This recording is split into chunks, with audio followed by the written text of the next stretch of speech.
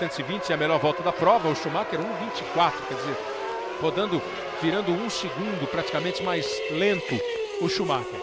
O português Pedro Lamy, o piloto da casa, está com problemas na Minardi, indo para o box. E o Schumacher, que reclamou um pouco da suspensão dianteira do seu carro, está aí o Pedro Lamy já numa primeira parada de box. O pessoal não está muito ligeiro ali não. Não é problema de, de pneu nem nada. É mais, é mais sério o problema do Pedro Lamy, seria uma grande decepção para o Lamy e para o público português.